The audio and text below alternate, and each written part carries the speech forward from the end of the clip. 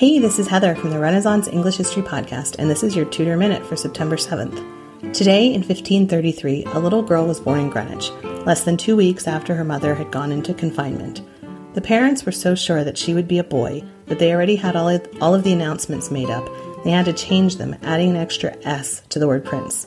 After she was born, celebratory jousts were canceled because this little girl wasn't the prince that her father had risked excommunication for.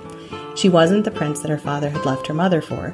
She wasn't the prince that her mother had promised her father.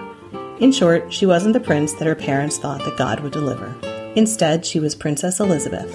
And the great irony is that while she wasn't a boy, she was the one Tudor who united England and ushered in the golden age of Elizabethan blank. Insert your favorite thing here. Mine's music, the golden age of Elizabethan music. Her mother would die less than three years later. Her father would never know the powerful woman that she would become, but she did both of her parents proud. That's your Tudor Minute for today. Remember, you can dive deeper into life in 16th century England through the Renaissance English History Podcast at englandcast.com.